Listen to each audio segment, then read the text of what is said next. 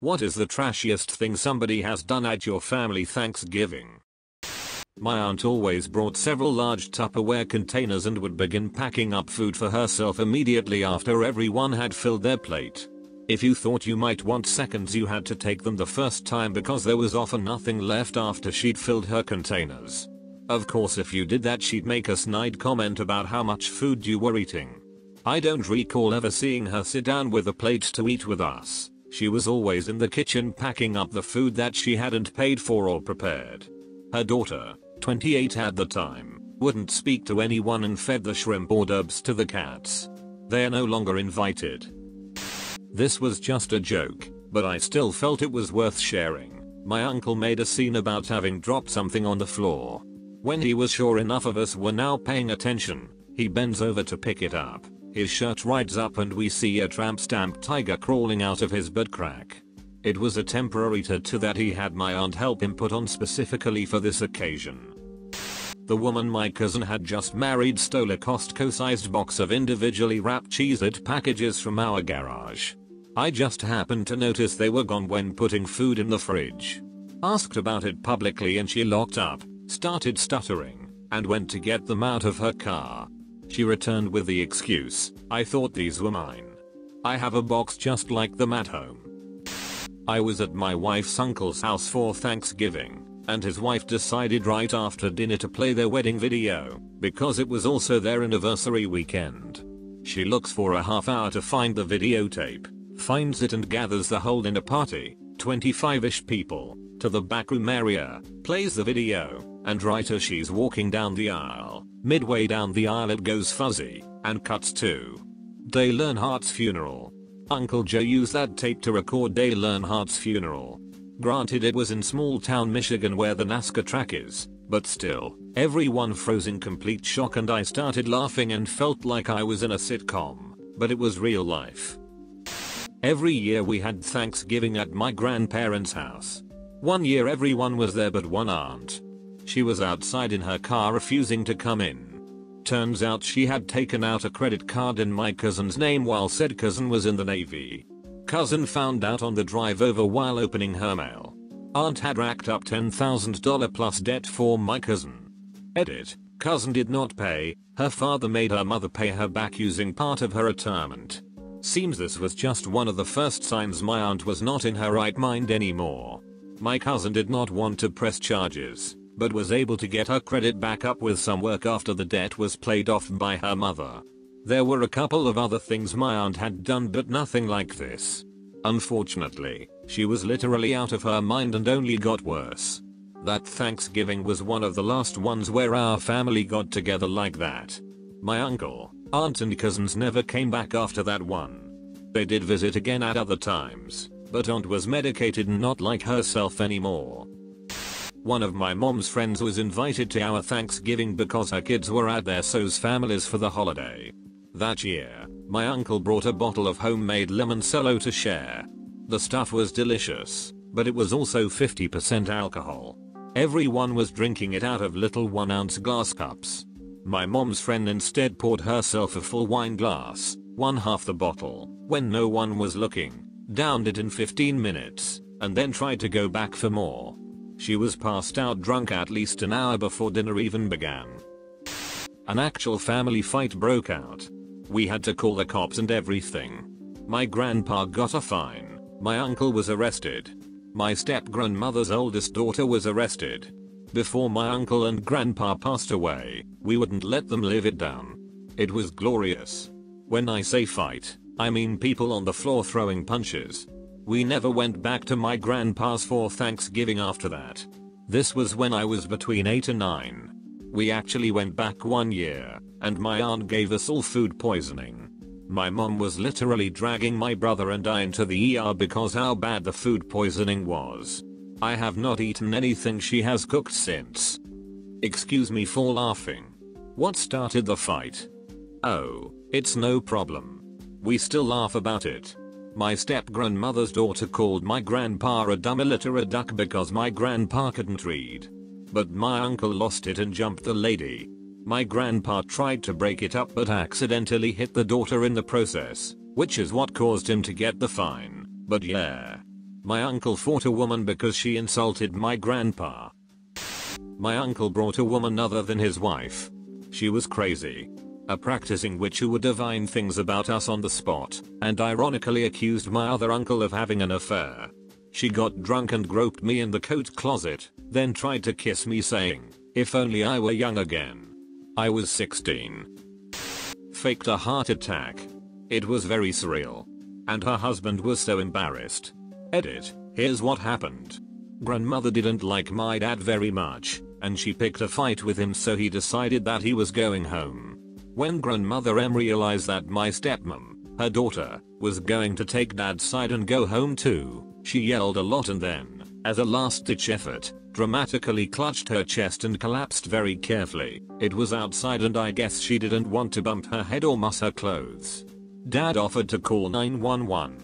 Grandfather said it wasn't necessary, and when grandmother realized no one was taking her seriously she opened her eyes, allowed grandfather to help her up, and went inside with him while fake sobbing. Normally she was quite nice, but she had her moments and really wasn't happy that her daughter had grown up and had a life.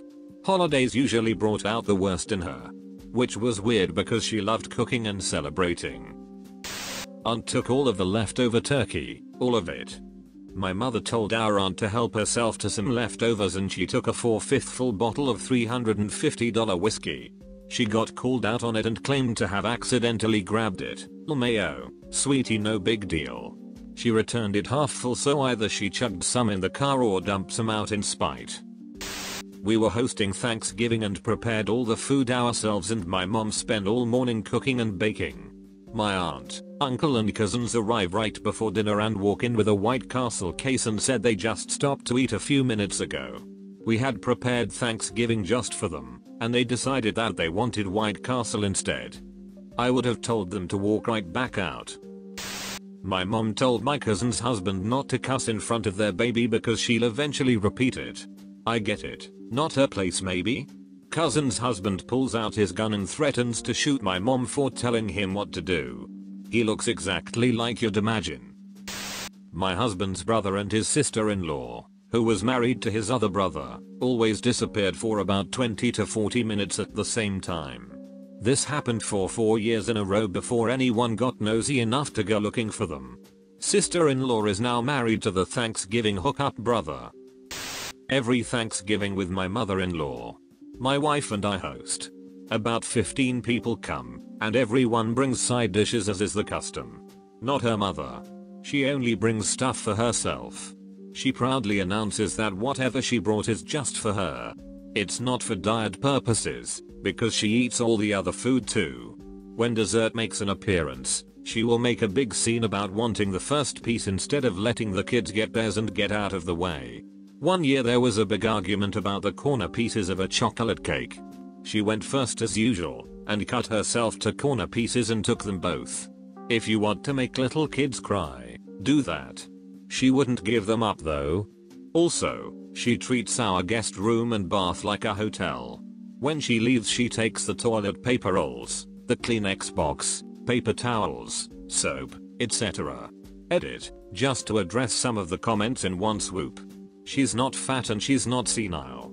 She is invited every year because my wife is the only family that she has and my wife would feel tremendously guilty if she didn't invite her. Not much of an excuse, but that's why. And if you are horrified by the above, this is just the tip of the iceberg. I could really make your head spin with her behavior on the 364 days of the year that on Thanksgiving. Edit 2. Here's some additional examples I posted in a response to a comment below. Let me think of some more sordid tales. A local bank used to have a freezer inside during a summer promotion with free ice cream bars for customers. She got banned from the bank because she would go there every day and take two ice cream bars and bring them home. She wasn't even a customer at the bank. Finally they told her not to come back. In the 20 or so years I've been with my wife, her mother has never offered to cook a meal pay for a meal, watch our kids, or help with the kids in any way. The last time she was invited here she brought half a tray of pastries. My wife questioned her about it, and she took the leftover tray of pastries from a party she was at after they had been picked over and god knows what. We told her to throw them out, but she just put them back in her car. Also, if she's at a restaurant and someone has a birthday party, she will go over to their table and ask them if she can have a piece of their cake. I'm not joking. She has a real thing about cake. She stole my mother's prescription eyeglasses last Christmas when they were both here, claiming that she thought they were hers. Hers were black reading glasses, my mother's were red prescription glasses. After getting busted for that, she planted a black sweater in my mom's guest room and made a big deal about my mom taking her things. She once showed up unannounced to one of our vacations and brought a friend and expected us to take them both to dinner 5 minutes after we arrived. We don't tell her when we are going on vacation anymore. I can keep going. This isn't an isolated thing, but if someone doesn't show up for Thanksgiving or Christmas we automatically check the inmate records at the county jail. It's happened a few times that someone's absence is accounted for by an arrest and or jail stay.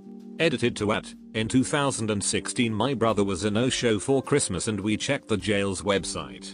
We saw our unique last name on their roster and assumed he'd been arrested. Turns out it was my uncle. I never did ask my brother where he was that year. My father's girlfriend sat at the head of the table at my house and acted like she was the hostess while monopolizing the entire conversation. I was her wait staff. It was my first time meeting her. Five years later they are still together but I haven't seen her in 4 years, 11 months, and 29 days.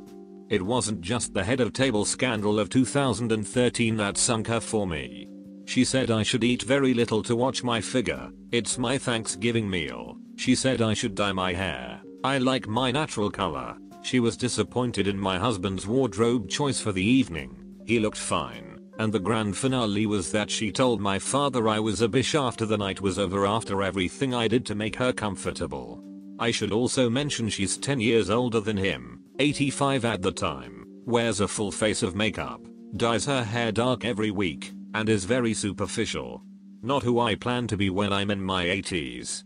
I think she's jealous of my relationship with him and is constantly wanting to assert herself as his number one. I'm perfectly fine with that and it's awesome she keeps busy. I see my father all the time and I am perfectly happy with the arrangement. My kids had extra doses of time with her so they are thrilled they don't see her anymore. They loved my mother so much. They were perfectly open to a relationship with her but she's so vain and ridiculous that it wasn't possible. She was responsible for bringing the dessert. She showed up 3 hours late and instead of bringing dessert she brought an open bag of frozen pierogies. It was a real downer.